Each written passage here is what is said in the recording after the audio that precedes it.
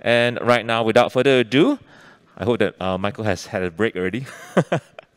Michael is uh, Michael is working double shifts after his after his speech. Now he is the moderator. Ladies and gentlemen, as we introduce our panelists, please help to welcome them on stage. Familiar face, of course. Michael just finished his presentation. Mr. Michael Phoon is the Executive Director, Singapore Shipping Association. Let's give Michael another round of applause to welcome him. And allow me to introduce the panel that will be joining Mr. Phoon on stage. We have Mr. Francesco Gargiulo, Chief Executive Officer, International Maritime Employers Council. Let's welcome Francesco. Welcome.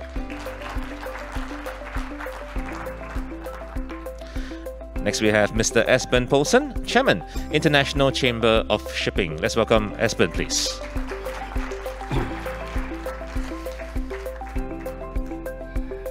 And joining them is Miss Mary Liew, General Secretary, Singapore Maritime Officers Union. Let's welcome Mary. And last but not least, we have Mr. Stephen Cotton, General Secretary, International Transport Workers Federation. Let's welcome Stephen, please. Dear moderators and panelists, you may remove your masks as you are socially distanced.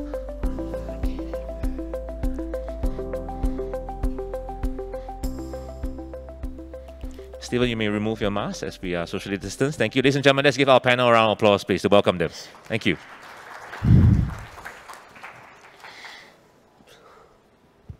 Well, okay, I guess everyone is all mic'd up. I hope so. Yep. Not, me. Uh, okay. I will use the conventional way then. Thank you very much. Uh, Esben and sound check, okay? Yes, I, I believe so. Yeah. Of course, uh, Francesco, you too? Yep. Okay, great. So um, this panel is about promoting seafaring as a viable and attractive uh, career. As the MC has uh, uh, briefly introduced uh, the guests on our panel, uh, we are served with uh, probably a high-powered panel, and I feel kind of small among this combined experiences of, of the captains and the industry itself. But let me just go ahead and maybe fire up the first question that I wanted to maybe kick off the panel with. You know, you know that COVID-19 has placed, you know, shipping sector and seafarers in the limelight itself. Many people are definitely aware of the importance of the shipping industry on a global economy, for sure. You know, however, at the same time, it also highlighted the various risks that a seafaring a person or a career could pose, especially in the event of a pandemic. And I just talked about that in my presentation earlier on. Now, we've seen reports of seafarers stranded at sea. And they were denied crew change and support in view of the closed borders as well as, as uh, health safety regulations and so on. Now, as the world is now slowly readjusting to the new normal, eh, the question I'm going to ask all of you is, uh, you know, how then could we rebuild seafaring's reputation as a viable and attractive career? Um, and perhaps, uh, um, uh, Steve, uh, from ITF, uh, and also maybe Francesco after Steve uh, goes on. You, you, could share some insights from being in the center of the action in the pressing issues that was faced uh, by seafarers during the pandemic. Steve. Thanks, Michael. Um, good morning, everyone. I think just to kind of recap a little bit on what Michael said earlier in his presentation, and also what the Minister mentioned about maritime as a hub in Singapore, I think the major point that I took away from, from the crisis is the importance of cooperation and collaboration. And uh, Michael, very, some, some very dramatic words in your, in your presentation, but the reality was there's many people in this room who I would now call friends that we didn't know before. And um, when we're talking to the cadets and how do we address the reality of um, why maritime is so unique, it's because our ability to respond to adversity, the reality that transportation does deliver for the world. And even though we had the pandemic and all the challenges, we continue to have conversations, we continue to solve problems. And uh, the leadership of Singapore in that process, which I think is part of why we're here, um, and MPA and Caroline and the work they've done together with our, our friends Mary and Cam, from the seafarers unions here, we're able to do our part for the seafarers. Um, that now leaves us with this big dilemma because we made the front, we made the news, we made all the main channels, we, we had 400,000 seafarers abandoned and stranded, and still some can't get off the ships now. Very big country nearby doesn't let too many seafarers off. So we, the, the, the war isn't over, but the reality for us, um, and I think this is a kind of an ideological question for all of us, particularly the HR experts in the room, shipping, certainly in my 30 years in the ITF, has always been about reducing cost. Perhaps now's the opportunity to look at it the other way round. How do we secure the, the men and, frankly, lots more women um, into our maritime profession and look at how we build the competencies and how we build the opportunities. And it will be, again, I believe, relying on the cooperation. You know, we all have different day jobs to look after, look after our members, make policy, make profit. But the reality is we have a common interest. In order to be fit for the challenges, both we've seen through COVID, but also climate, changing temperature, which makes shipping still a challenging industry, we have to find ways of making seafaring more attractive. And that means we'll have to look at how we educate, what the levels of competency are. And that's why I want to congratulate the Singaporean uh, Transport Minister on the initiatives to bring Singaporeans back to the industry. And again, without sounding too soft on Singapore, there is a government here that believes in the shipping industry. And as many of my colleagues from the international unions here, we don't get that level of support all around the world. So we have to make these initiatives work. We have to make them work in collaboration. But it's really the young, the young men and hopefully some more young women at the end of the room who we want to see in 10 years' time or 15 years' time sitting up here, sitting out there, making leadership decisions. So for me, the big challenge is how do we make this amazing industry attractive to young men and women from all over the world, whichever culture they're from, want to be part of this amazing industry. So Steve, that's, that's uh, you know, I, I like the way you, you kind of like slowly end it nicely and, and, and leading on to the next few questions. It's, it's really about how do we keep this industry very attractive. But I want to hear from Francesco from a international maritime employer's viewpoint. You know, Steve earlier talked about, and it's, I'm just trying to sensationalize this, He said that, you know, shipping is about minimizing cost. And we're looking at now a generation of seafarers who says, well, I want to be in this business, but I think, you know, give me something. Uh, and, and we know that operating a ship is expensive. So from an international maritime employer's viewpoint, what, what, what is your take on this, Francesco? Well, good, after, good morning, everyone, and lovely to be here. Thank you for having me, first and foremost. Um, it's, um, you know, following into Steve's footsteps is a bit of a, a hard act to follow because obviously he uh, is quite adept at this sort of uh, events. So um, from my perspective, or really from the perspective of the, of the employers, of the maritime employers in the, in the industry, um, we possibly have been guilty of focusing too much on the negatives, on the bad news that sometimes uh, gets, gets the headlines. Well said. The reality is we live in a, uh, we work in, a, in an industry that actually has very many positives. And I think that's one of the things that perhaps we should be focusing on a little bit more. Um, there's been a lot of emphasis on seafarers stuck on board. Right. There's been a lot of emphasis on countries closing their borders, focusing on their citizens, worrying about the local community versus uh, the faith of the seafarers on board those ships. But at the same time, there's been a lot of emphasis on how important the role of the seafarer is for every, every community, for globalization in general. Yeah. And I think that's a great positive that came from the pandemic. So yes, there's been a great positive of social partners working together, working together with countries and, and governments. And that's, yes, absolutely a great, a great positive. But for me, the biggest positive is the fact that the, the unknown, the great unknown seafarer has actually caught the limelight. And uh, if you ask me, there isn't such a thing as bad publicity. I think a lot of young uh, young men and women, and I agree with Steve, we need to focus a lot more on young women as well, have actually finally noticed the position. You know, during the pandemic, a lot of people were focusing on nurses and doctors, and all of a sudden, seafarers That's came, came to the fore, and they became key workers. They became something to aspire to. So I'd say let's not focus on what the pandemic did to make the position less appealing, but let's maybe think about what the pandemic did to actually create visibility for a position that is well paid, tax free, fully funded when it comes to training. There's, there's so many pluses that I think we could be focusing on as opposed to, oh yeah, they were stuck on ships. Let's not forget that all right. Um, I'm thinking now about the British example because that's where we operate, um, that's where our base is.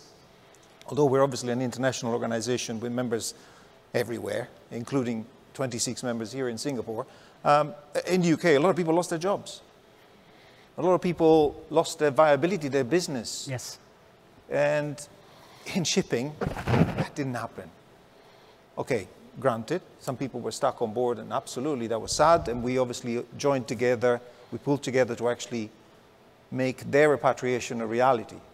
But at the same time, that's a job that's more sought after now than it was before the pandemic, Right. better paid now than it was before the pandemic. Right. There's been a reconnect between employers and employees. And the good employers in particular have put a lot of money and resource. So uh, I have to counter the uh, uh, limit expenses because that's not what happened during the pandemic. The good employers actually stuck their neck out and made sure that their seafarers were looked after. I That's think right. that's, that's a big plus for us. That's right. Francesco, I think you, um, I'm looking across when you were speaking, I'm looking across at the cadets that are there. I think they are all fired up right now. You know, you talk about the fact that, you know, the pandemic, while had its negative parts, and, and there, there, there were also opportunities for us to shine that light of, of how critical a workforce that the globe had to depend on. Isn't it true? You know, Sister Mary, you know, we, we, we had talked about this before in the last two years. Maybe you can share with us, uh, perhaps, you know, what Singapore had done to, to highlight and made sure that seafarers was not left behind and was treated as with the respect that they had, with the critical work that they do to keep our economies running. Thank you, Michael. A very good morning to all. Uh, I think this is really absolutely a very important question. And it's something that um, we have struggled along the way to come to where we are today. And uh, there are actually, I must say, image deficit for our seafarers and also for our industry as a whole. I think there's a lot of things that we can definitely do. And uh, Francesco, you are right. You know, um, I think at this point of time, the pandemic, you know, we turn that crisis into opportunity, and we make everybody sit up and wake up to say that look, seafarers are key essential workers. And uh, you'll be very surprised that, you know, when I come in dialogue with different ones, uh, outside of this maritime industry, a lot of people still do not know what seafarers does. And I think in that sense, we need to you know, bring up the image together as an industry. And of course, over the years, and I'm glad that the MPA has also listened to the industry players, the feedback that we have, and there are strong funding elements that come into it as well. Yeah. To bring up our seafarers, and uh, I'm really, really grateful and uh, thankful to our companies here for your support, especially during the pandemic time. But please don't string back your budget, but continue from there as well. I think it is important for us to have that investment training. And uh, in fact, just now, I think uh, our Minister of, uh, Senior Minister of States has also shared with us about the different initiatives that come in.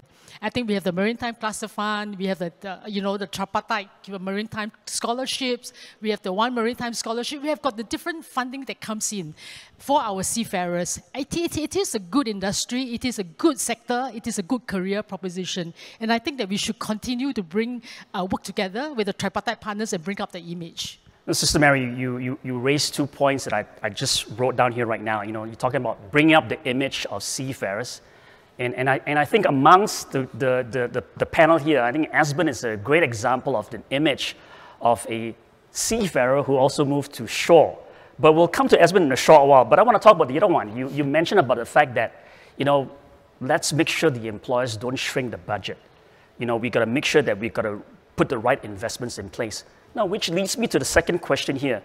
You know, seafarers require extensive training before they can get to work on board, which could be deemed as a high opportunity cost for young, aspiring people who are considering a career in seafaring. This is not just only an issue in Singapore, but a challenge across the entire globe. Uh, just to maybe take a local example, a local example of, uh, of the number of years that a young person will come to face. Coming up from a local perspective, from the Singapore Polytechnic, they come up with a COC grade 5, you can call it that. Uh, and then it will take an approximate five years, five years for them to uh, achieve or even qualify for a COC1 if they pass that. Um, uh, and, um, and within that, uh, there is this opportunity cost that is, that is kind of lost. Now, there are already many, many options that young people can pursue, which would deliver faster and maybe a, a better rewards. Then how then could we attract the young to consider a career in seafaring, given the lengthy training process that we have? You know, Sister Mary, you are constantly in touch with the, uh, the young cadets and the trainees, and, and maybe you can share your view on the perceived opportunity costs for these young people. Thank you, Michael. Um, you know, it is always a delight, uh, a pleasure, a joy to have that conversation with our young seafarers, with our cadets. And in SMOU, actually, we have uh, worked very closely with our training partners. Of course, it's our setup, the Whitfield Maritime Institute. We have raised up, and in fact, we have recruited, you know, from the public and train them as cadets and raise them to officers. We have trained over 400 plus, and then today we have got about 100 officers. And I think that's great. And the journey that we have together with them, we hear them out. And there are opportunity costs. For example, many of them aspire to become a sea captain, a chief engineers, yep. but it takes them more than seven years, eight years, and some even above. Yep. And really away from their loved ones, away from their families, the sacrifice that they made, especially during the pandemic. I think that is really quite a journey for them. And I was just thinking, you know, we have, we have been talking about it in the industry as well. Is there any way that we can tap on technology, tap on digitalization, simulator, to help them to speed up the training process. That is one, one of the way. And also the other opportunity cost that they have as well, when they are back from sea, uh, while waiting for the next assignment, many of them actually uh, wait longer than they thought, and they have to look for alternative, perhaps in the gig economy, so that they can keep their family going, so that they can support their families as well. You know, some go into Grabs, you know, and some goes into food delivery oh, and yeah. all that as well. Yes. And these are really, really opportunity costs. And perhaps the industry can come together, the tripartite partners can come together to do something about it. And Michael, I really like what our Japanese friend did, the NYK, yep. because we learned from them. I think it is a good, best business practice as well. What they did was that they shortlist their Japanese, actually, the Japanese cadets, right? NYK, I learned from Ohio, Ohio, Ohio uh, sorry, I can't get his name quite right now. Uh, never mind. Uh, he came recently to Singapore and he shared with us that in NYK Japan, they recruited 12, 12 deck cadets, 12 engine cadets. Wow. Deliberately and make them go through that program until to where they are. That means they rotate. Uh, you sail at sea, and then after that, you come back ashore. Then you work ashore with the company, and then you gain the experience, and from there you move up the ladder. And really, all of us here in Singapore, we have met the former, you know, the former guys, right? The former top CEO. Yes. We have got Manji-san, we have got Nakaya, and we have got. Uh, I can go on and on the list. I think all of us know them. And what is common among them is that they are all seafarers. They are all seafarers, and they made it. Esben, Francesco, I'm sure many of you in the room here as well. Yep. How did you do it? But let's continue to impart that to our young seafarers to tell them, says that, hey, you can progress from sea to shore, and there's a career path for you. But we need to work that together with, along with our industry partners so that uh, hopefully we can offer them that alternative as well. Indeed, I think indeed that you can move from sea to shore. And I, and, and I think, um, yeah, um, it's time for you to come into the picture. Any words of wisdom you can share based on the book that you wrote in your shipping life because you did document your ship to shore journey and, and maybe you know, draw from your experience, offer some advice to the seafarers out there or potential seafarers who are listening in right now. Esben, please. Thank you, Michael, and good morning, everybody. Um, it's true, I was at sea in 1966 uh, as a 17-year-old. but we probably, don't, we don't really want to dwell too much on that because that's, that's historical. But I can say briefly that uh, on a 9,000 deadweight uh, vessel, we had a crew of 45. Um, in 2019, I joined a 150,000 GRT container ship from here to Hong Kong uh, with a crew of uh, 20, 19 actually.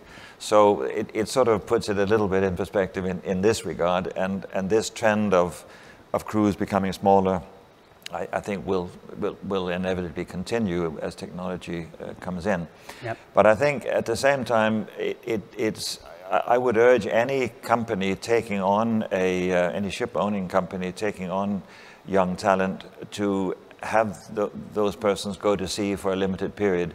Because I, I have to say, the impression it made on me on that time has stayed with me uh, forever. And, and I, I think I have a, probably a better understanding of what life at sea is like um, than someone who has not done this. And um, it may be only for a few months, but it's, it's definitely very well worthwhile.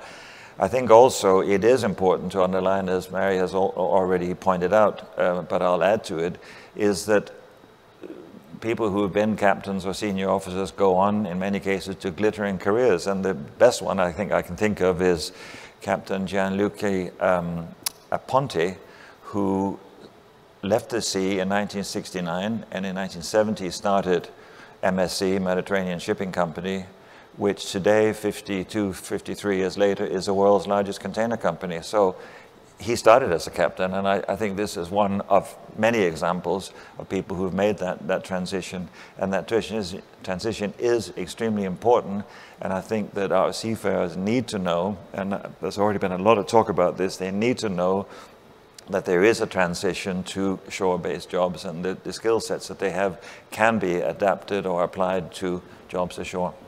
You know, Esben, you, you, you know, you mentioned about the, the the inevitable transition from sea to shore. So it, it, it matches right now with a question that came in from the pigeonhole. It says here, um, let me try to find a way to put this out here. Uh, uh, to ensure, to ensure ship, seafaring is a viable career, how can seafarers be better supported in terms of managing their careers, especially in a general inevitable switch to shore-based roles. Now, I'm not going to ask you that question. I'm going to ask actually Francesco because I think, Francesco, you, you did mention that I think seafar seafaring and maritime has an edge over the other sectors. Yeah?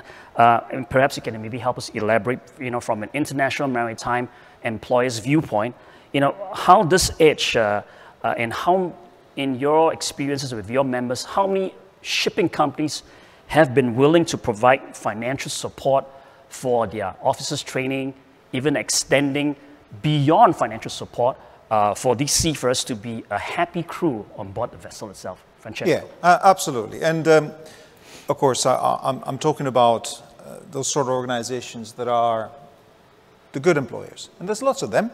And we tend to try and represent uh, the majority of them within IMEC. So that's, that's the perspective I'm trying to bring here because I'm sure there'll be rogue players like there is in every other industry. Mm. However, when I talk about IMEC members and I talk about what they do, uh, you've, you've got to point out, you have to point out to the youth of today that, uh, uh, that, that there's a, a, a, massive advantage in actually pursuing a seafaring career. Uh, and that is that, I mean, I, I have a 17-year-old son. A 17-year-old son is now looking at where he's going to go to university. And uh, his dad, he's looking at how he's going to pay for university. And that's, um, yeah, it, it's not an easy question to answer there.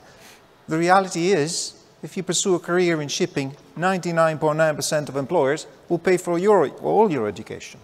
You'll come out without student loan, which is the case for everyone else that goes to university these days. You come out with a degree-like piece of paper, a career that pays above average wages, a career that has the, the potential to turn into a lifelong career. And I, I just, last, uh, uh, last week I visited our, our cadet uh, campus. We, we run a cadet program for the benefit of our members in the Philippines in conjunction with one of the unions that's uh, affiliated to the ITF. Uh, and so we had 700 of our cadets there.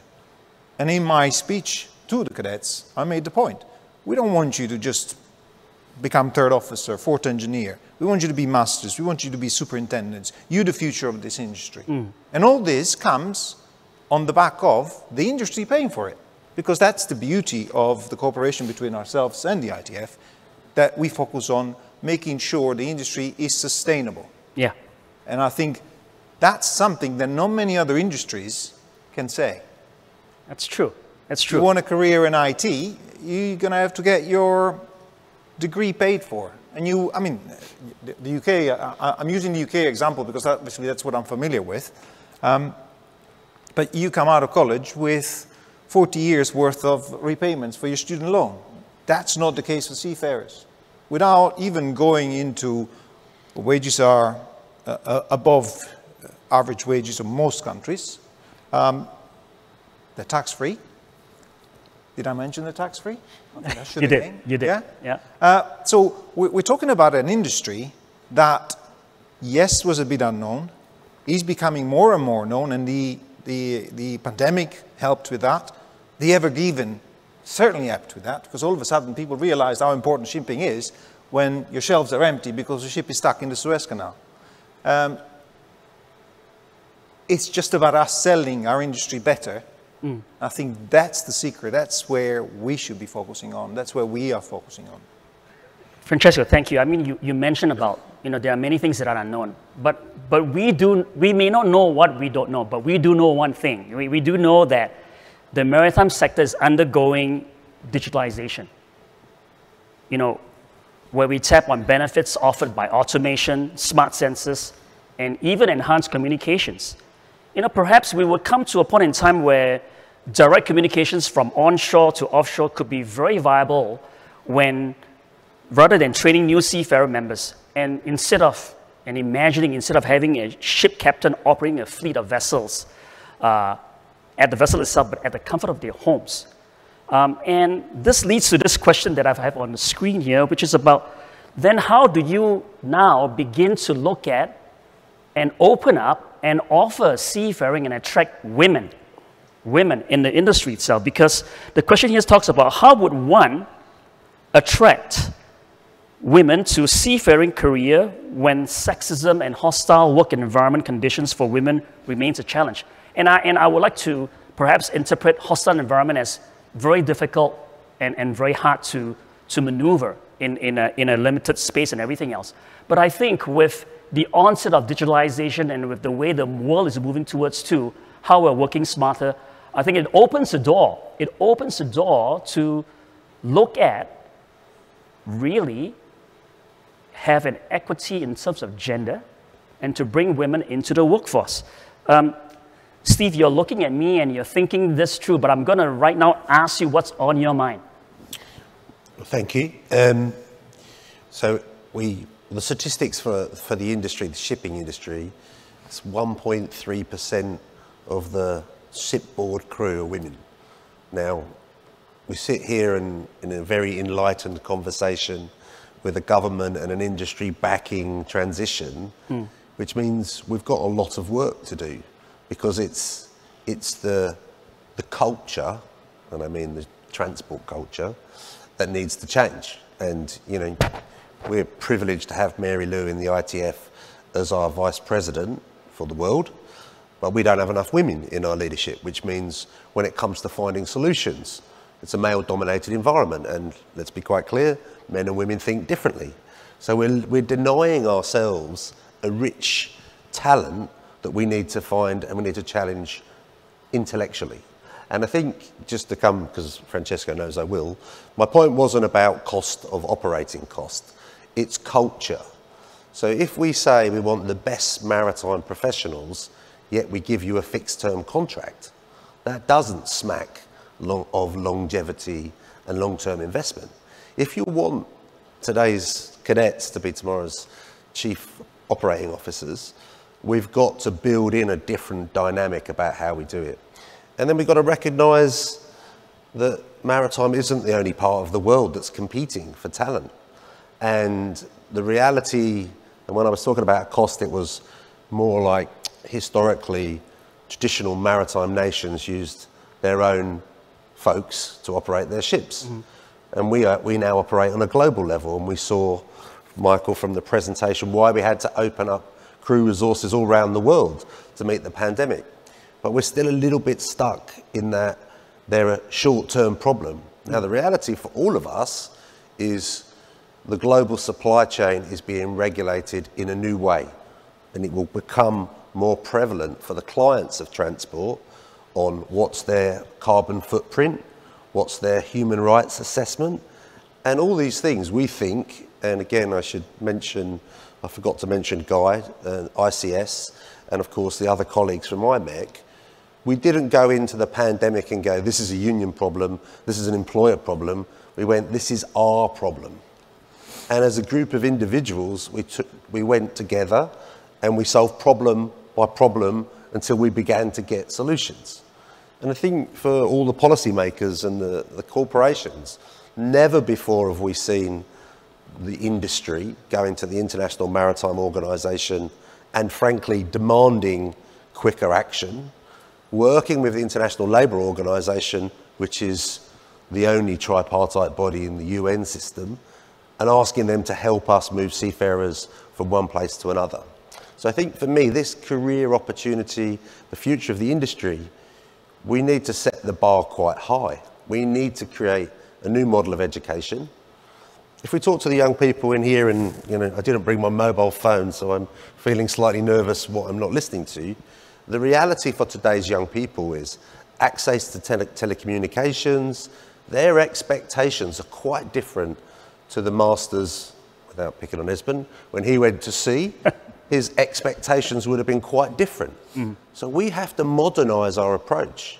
It's not easy for the unions. We know we don't like change and we worry about will change be good and will there be as many jobs? But in the ITF, we're grasping the reality of understanding what technology means. Yes. We're grasping with what do we have to do to meet the carbon challenge. Correct. And what are those new skills? Now, here today, we heard money on the table to invest in the infrastructure. Again, there's a leadership.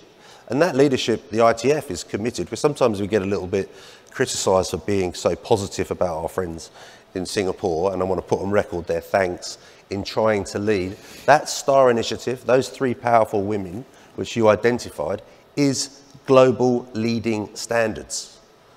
It's not happening in London, it's not happening in Dubai, it happened here. Now, we are, and this is the bit where I think is most critical for the future, we are in an amazing industry that respects international talent. Now, we have to promote that in a new way, and we have to make our education, our safety standards, without compromising, fit for 2050. And that means we have to think in a different way and we have to invest long term and new ways of doing the job. Steve, thank you. you know, there, there, are, there, there, are two questions right now in a pigeonhole that I, I thought maybe it's, it's kind of nice to, uh, to pose this to the panel. Um, but let me go and try to collapse these two questions uh, into probably one. Uh, and uh, let me just read out so that the audience uh, can follow. Um, here it says here, seafaring are no longer attractive, especially in monetary rewards, as many shore-based careers are quite rewarding. Plus, seafaring lacks work-life balance and family time. Are we addressing it? So that's one of the questions. Uh, I think similar to that is another one that's coming up here. It says here, now to promote seafaring, there is a need to provide an understanding of the near future seafaring job scope with digitalization that you talked about, autonomous technology, and how is this being campaigned to, to us nationally? So I think these two can be combined because I think it, it, talks, it really talks about the fact that if we embrace digitalization tools, perhaps that level uh, certain parts of family time and work-life balance can be bridged and, and, and addressed. But I know we've got to keep it real. We have to make sure that we can bring that visualization to aspiring young people to take up a career in, in, in, in seafaring. Now, and so shipping companies now, um, Francesco talked about it, it's increasingly now needing a supply of seafarers with the relevant digital skills, which you talk about, uh, Steve. Mary, you talked about that too. I think uh, in your daily uh, struggles, you're trying to figure out what's the right curriculum to put in place uh, for, for seafarers. Esben, you, you clearly mentioned, I think that's absolutely right. From the time that you were doing what you did, sailing on board the ship, to now, the modern ship has also many perks, but it's also gone very complex. So perhaps I guess this results in a skills gap between maritime talent as well as employment opportunities. Maybe one way to bridge this skills gap would be to build stronger industry and academic partnerships so that we can enable a lot more agile development of these programs and equivalent courses, attract these young people to come in, and maybe to recalibrate back what the industry really, really needs. Yeah? Now, I've set the stage on this. Now, back to the question. So, how else may we effectively identify and bring this talent into the seafaring industry itself? Now, um, now since this is focusing on perhaps uh, the future of curriculum and training, maybe you know, Sister Mary, you could you could share on SMOU's work and plans to stay agile in an updated era of digitalization. Thank you, Michael. Um, I think that is a very, very important question. I think Steve touched quite a fair bit on it uh, earlier on as well. I think moving forward, we definitely um, need to know that million dollar questions. What is the future of shipping? And uh, the thing about what, what SMOU is doing currently and where we are coming from, um, along in conjunction with the Singapore Maritime Week, we organized an event yesterday.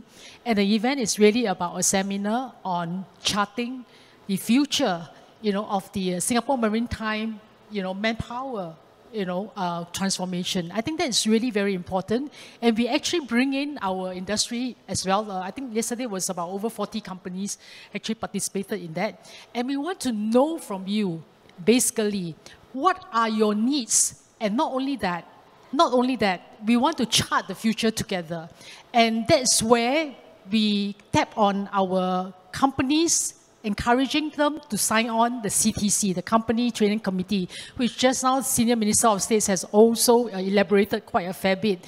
Because this is the interaction session whereby we want to be part of your business strategy as well, want to know your business plan so that we can also map the uh, future of our manpower uh, transformation map. And uh, with this um, operation and transformation uh, roadmap, we can do it together. So this is where we constantly want to engage the ground, want to hear from the shipping company. We wanted to also value add to the shipping community.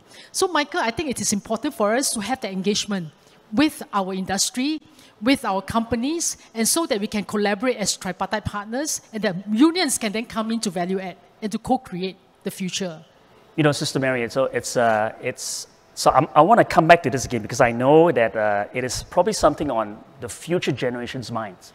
You know, you talk about making sure that we can have enough investments and plans, making it training a lot more easier. We've got a question actually on the screen that talks about why not, why not, why don't we look at virtual, virtual training and embrace virtual reality training and gamification to make training more fun, more engaging, and also thereby attracting even more people into, into, the, into this, uh, uh, uh, this sector itself, uh, and, and allow the importance of passing on experience.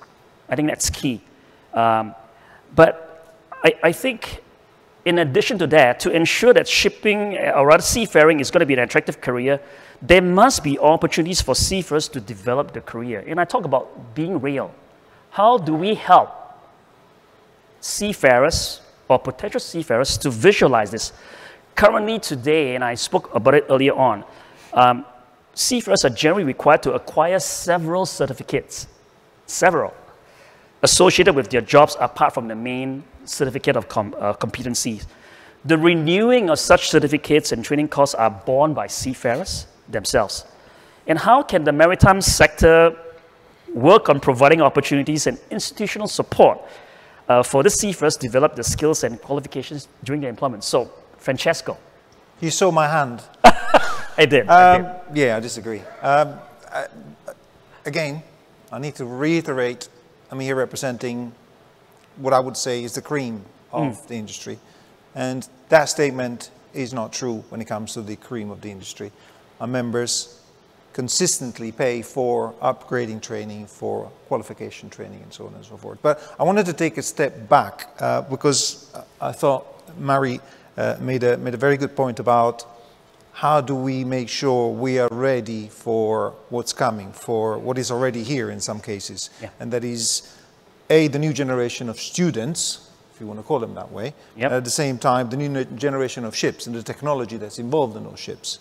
And I think this is where we need to come together with not only the unions, i.e. the employees' representatives. And that's something, I mean, I'm not talking about a school here, but that's one of the reasons we came to Singapore this week. We, on Wednesday, had a meeting, union employers, in which we basically are talking about working together towards uh, identifying trends, identifying what's needed by the industry and by the cadets coming through, the yes. trainees coming through, yep. uh, for this future industry, which is already here in some cases. The ultra-modern chips are already here, and there's going to be more and more of that. Uh, but one of the things I wanted to add is that there is another element that needs to be included in these sort of conversations, and that is academia.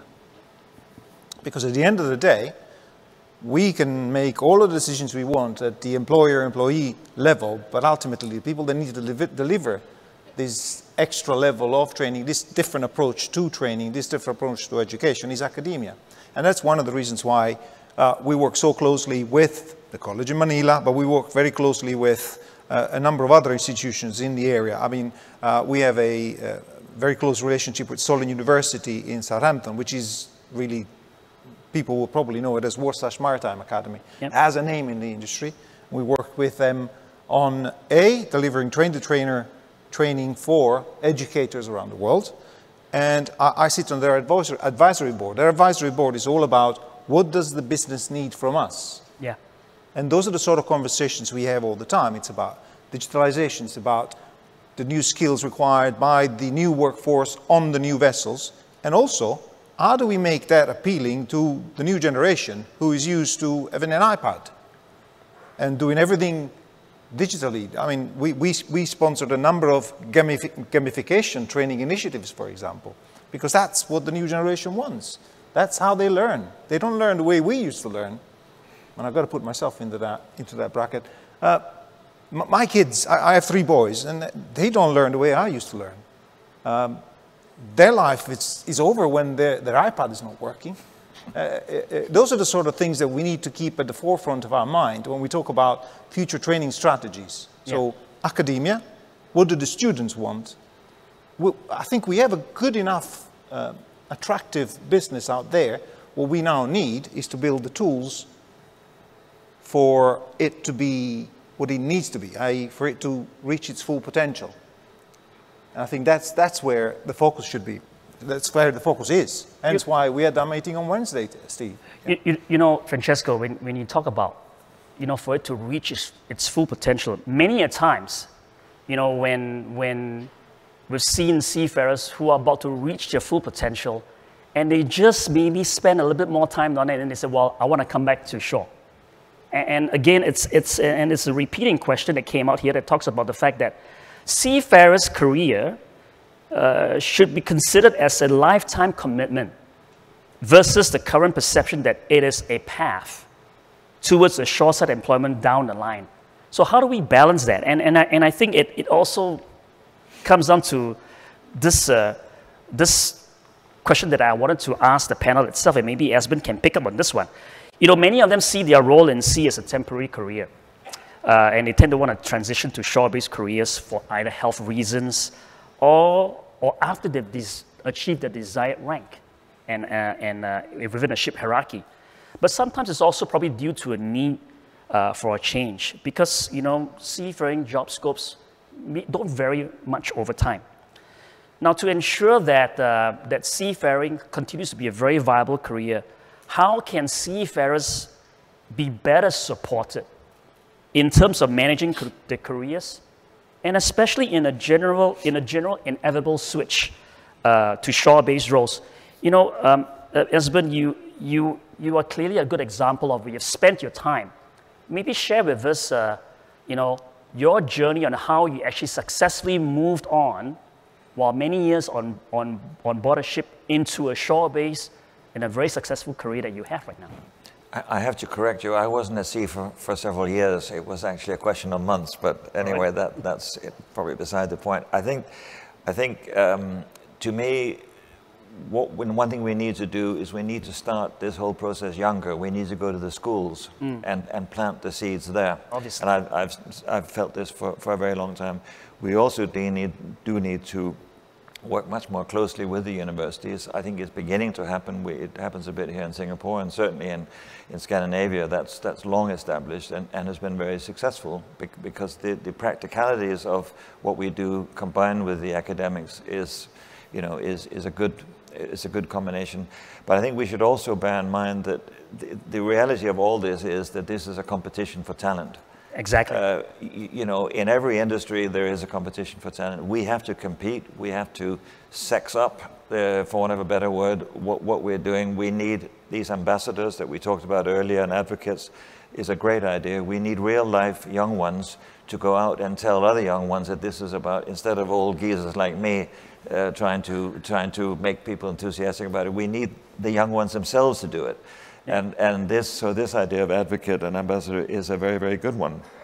And um, I, I, would say that's the, a combination of that. I'm more than happy to mentor, but I think we need the young themselves to be, to be doing it. As, as Bernie, I think you put it nicely and rightly, and we're almost running out of time. I think it, is a competition for talent. And maybe perhaps as we're running out of time, I'm going to ask one last question, and, and hopefully we can sum up the panel discussion today. Um, in a world where young talent have many attractive opportunities out there for them, uh, attractive alternatives beyond seafaring and everything else, what, what in quickly amongst uh, the four of you, uh, you know, help us sum up, you know, what would be your inspiring statement uh, to people who are listening in, people in this room, probably parents who, want, who may want to convince to get their their, their kids uh, to be a part of seafarers, uh, for them to take a path and to consider a career in, in seafaring. Let's start with uh, Steve. Well, th- well, thank you. I think fantastic panel. And if I look around the room, what is the best part of the maritime industry is it brings so many different cultures together to work towards a common objective. And I think just to take sort of elements, we need to make the whole profession and the education to, you know, if you speak to young people in Singapore today, just passing their graduation, they don't really know what to do. So we have to give them the skills, not just to navigate a ship or to change a sensor in the engine room, but give them the skills in the education to run a corporation, understand profit and loss. We have to build up opportunities so their skills can become transferable Fantastic. from the ship to the shore. Yeah, so curate the skills for them. Sister Mary. Uh, well said, Steve. Thanks, Michael. Uh, I'm, I'm very proud to be associated with the maritime industry. And I must say that building Singapore core, from what I hear in our session yesterday, it is a very, very uphill task. Very difficult because everywhere are more attractive. Perhaps the maritime is more visible as well. But the thing is that I just want to urge all of us in this room and in the sound of my voice never, never give up. Continue to build the Singapore core. Singapore is an IMC, International Maritime Hub, and we must continue to do so. And there are good opportunity out there with your seafaring experience, seafarers you have an ecosystem of opportunity open up before you. So never, never give up. And I just want to urge our industry players as well walk that journey together with them. Mm. Don't leave them behind. As you evolve, as you grow, as you transform, bring them along with you and walk the journey. And I just want to let you know that the labor movement is together with you because we want to see our company thrive.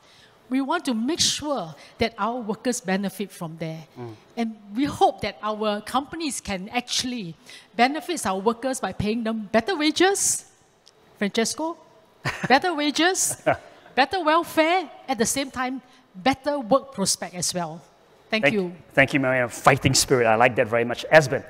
I think we have to be realistic and say that we want to get uh, people into seafaring, but we must recognize that as careers are shorter uh, as technology changes, this is the way the world is. Yes. But the key point to me is please bear in mind that shipping is many, many things. It's shipbroking, it's chartering, it's agency, it's operations, it's finance, it's the law. There are so many aspects to it. And, and I myself, I've tried a number of these things during my uh, 51 years of doing this.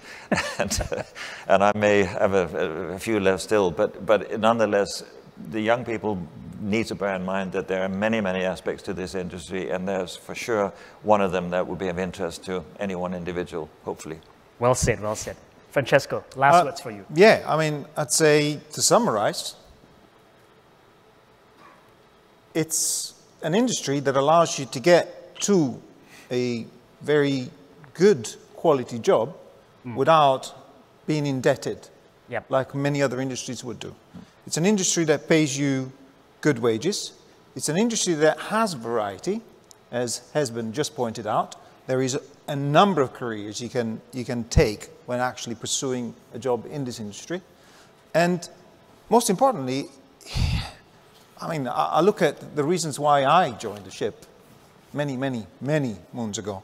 Uh, and that was, I got to see the world. I got to meet uh, other people from other countries. And of course, I came from south of Italy and uh, uh, my, my, my, view of the world was very limited. Singapore is a whole different proposition. You know. this is, uh, yeah, you guys are multinational, multicultural, right. and uh, you, you, obviously already have some of that. But for me, that was a major attraction to the job, a major attraction to the industry. Mm. So I, I think that for us, it's important to make sure that we do it right in terms of the tools we use to do it. Yep but at the same time, we don't underplay ourselves. We don't um, do us a disservice by actually focusing on the negatives in the industry, which, Absolutely. like every other industry, there are. Absolutely right. Uh, and actually focus on the fact that there are great opportunities in this industry.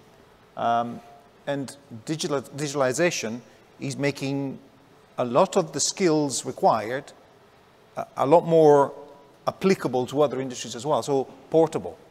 So whilst in the past people may have felt, wrong by the way, may have felt that uh, becoming a captain gave you skills that you then don't get to use in the industry, which we know that you do, but the perception may have been that. With, with the new curriculums, uh, uh, the curricula, uh, uh, and the new approach to new systems and technologies, new ways of learning, I'd say that makes the industry even more appealing more appealing to men and women. Absolutely. Yeah? Absolutely. So I think with that, we're going to end the, uh, the panel discussion. We're just slightly five minutes over time. But first of all, let me say thank you to the audience for sending in your questions. We didn't have time to answer all of them, but I hope that we were able to actually, you know, reassure you that, uh, that shipping, or rather seafaring, is a viable and attractive career to put in place. And please join me in thanking the panelists uh, for their contributions here this morning. Thank you to our panel, and thank you, Mr. Phoon, for moderating as well. Thank you very much. Thank you. I'd like to invite you back to your seats. Thank you very much. You may go back to your seats. Thank you. Thank you.